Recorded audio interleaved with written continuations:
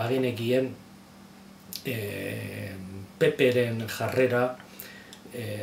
gatazkari begira ez dela egun batetik bestera aldatuko. Eta hori ikuste, ikusten dago, ez da, esan edu, bai, espetxe politikan, azken finean, guri ezarritako amarru hori izan zen nolabait ostopatzeko amaiurre kongresuan egin dezaken hori, ez delako berdin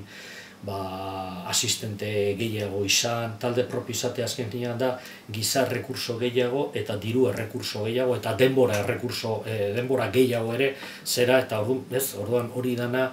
e, nahi izan dute mugatu, ez. Orduan, ba, karo, guk hor geneukan aukera zen konstituzionalera, jo, eta hori egin dugu, salatu, hori hasierako momentuti salatu genuen hori, baina esan nahi dut, espero bazuten horrekin, edo beste gauza batzuetan bezala espero badute nolabait blokeatzea, gure aserrea sortzea,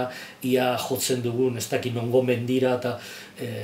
mendira segituko dugu joaten, baina trekinak egiten, eta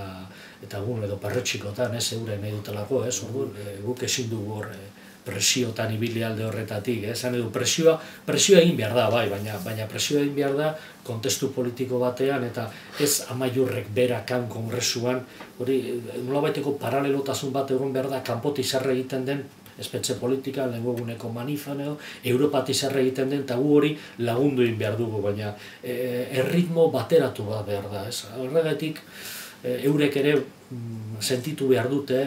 Eta nik uste Pepek eh, badituela etxe barruan ere eh, zer important, ostopo importante batzuk, ez? Mm Azken finean dira, orain arte sortu duten narratibaren e, gatibu. Eta badago hor sektore bat, oso, eta beste sektore bat agian, ba gauzak beste modu batean ulertzeko orduan hori ere denborari denbora eman behar zaio, ez?